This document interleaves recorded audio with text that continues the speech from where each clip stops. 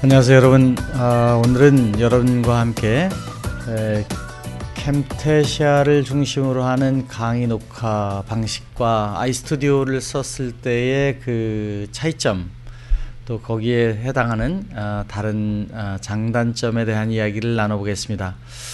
아, 주제는 에, 어떻게 그 비디오 프레젠테이션 비디오를 만드느냐 하는 내용이고요. 아이스튜디오를 이용해서 과연 여기 보이는 것처럼 그 정말 그 많은 어, 이 지난 한 10여 년 이상을 그 프레젠테이션 비디오를 제작하는데 정말 그 standard화가 되어 있는 이 Camtasia 방식과 어, 또이 장비를 아이스튜디오 함께 사용하는 것에 대한 이야기를 들려보도록 하겠습니다.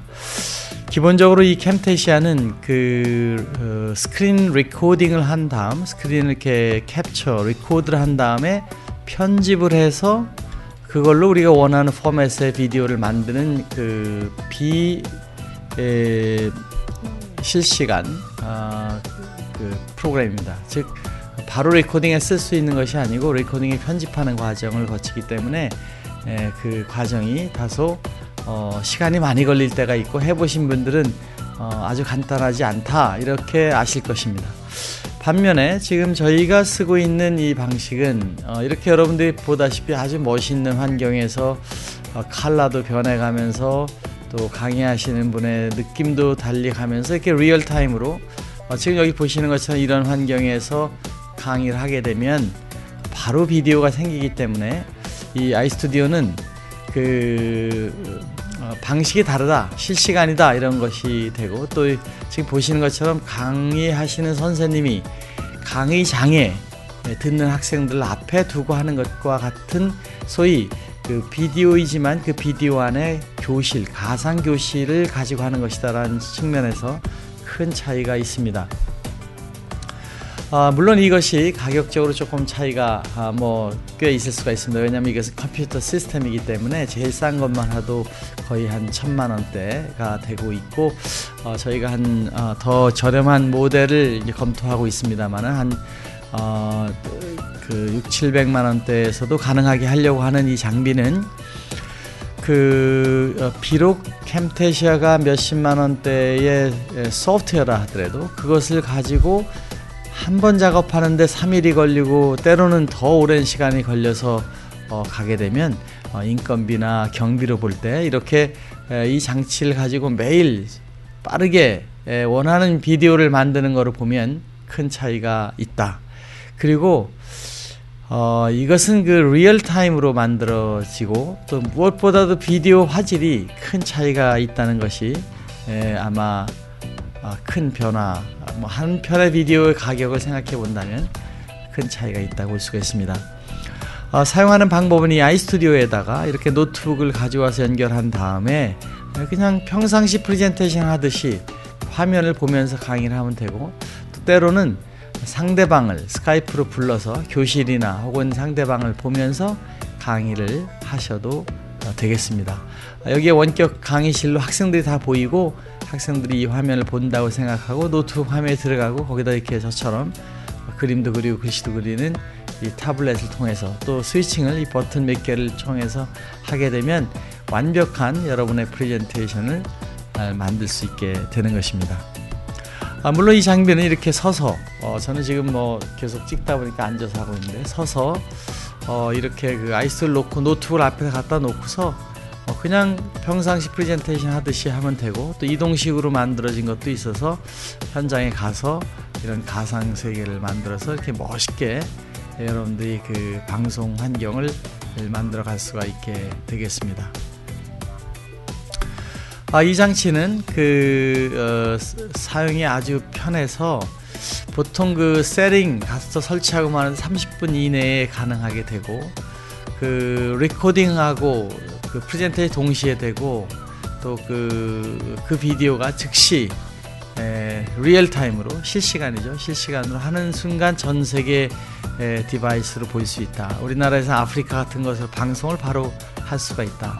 그래서 이 프레젠테이션을 아무 데서나 사무실에서도 conference room 호텔에서 교실에서도 할 수 있는 그런 장치가 되겠습니다 아, 지금 여기 보시는 것처럼 이렇게 작은 테이블 크로마키만 두고 작은 테이블에 모니터만 있으면 되고요. 이 앞에 있는 건 밖에 사람들이 와서 보라고 한 것인데 다 이런 건 쓰지 않아도 되고요. 이 앞에 모니터 하나만 보면서 강의를 하면 되는데 이렇게 그 나오는 화면을 보면서 어, 강의를 하게 에, 되기 때문에 본인의 스크린을 보면서 이렇게 강의를 만들 수가 있습니다.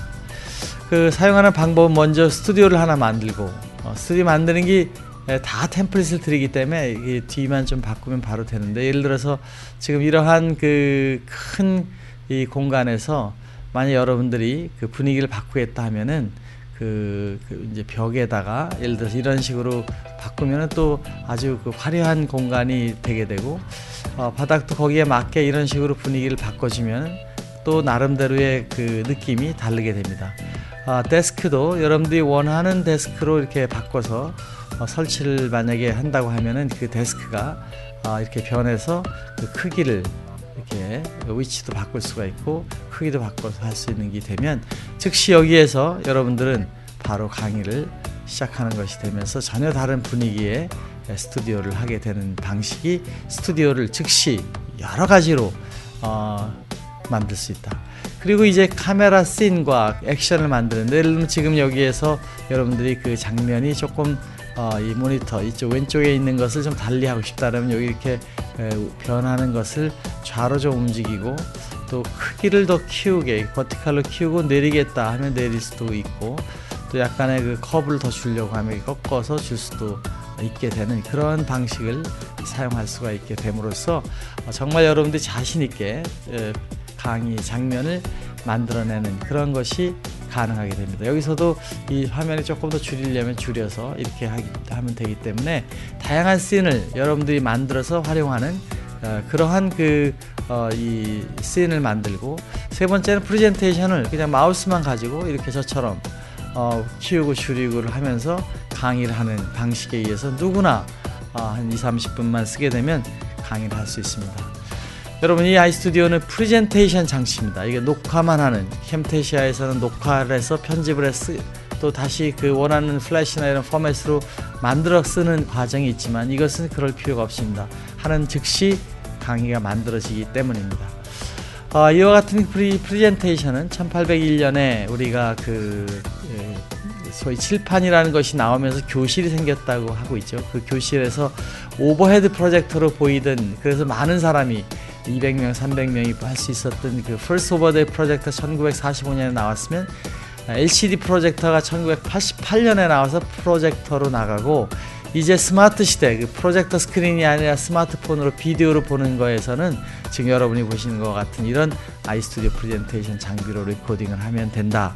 아이스튜디오는 비디오를 만드는 것 뿐만 아니라 real time으로 프레젠테이션을 해서 원격 지도 보이고 또 여러분들이 교실에서도 바로 어, 이러한 그 발표를 하는 장비가 되는 것입니다.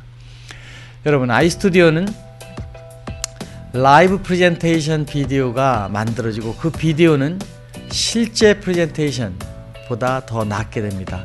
만약 여러분들이 프레젠테이션을 이렇게 스크린만 두고 화면을 바꿔가면서 프레젠테이션 하는 그리고 오디오만 나오게 되면 얼마나 답답하겠습니까?